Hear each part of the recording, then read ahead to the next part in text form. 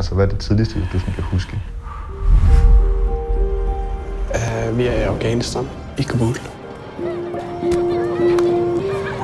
Min mor hun er mit hår, så ingen andre kan gøre det ligesom hende.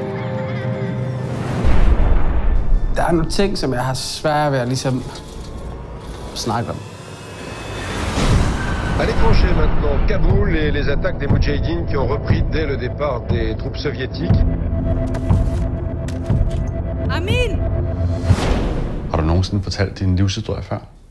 Nej. Vi flygtede til Moskva. Der er rigtig meget kriminalitet, og der er politiet, kan man overhovedet ikke stole på. Og hvad, hvad er planen? Vi flygter med menneskesmugler. Jeg har vildt dårligt samvittighed, at, at min bror han bliver tilbage. De der menneskesmuglere, de er bare nogle møgsvin. Amin? Kujosti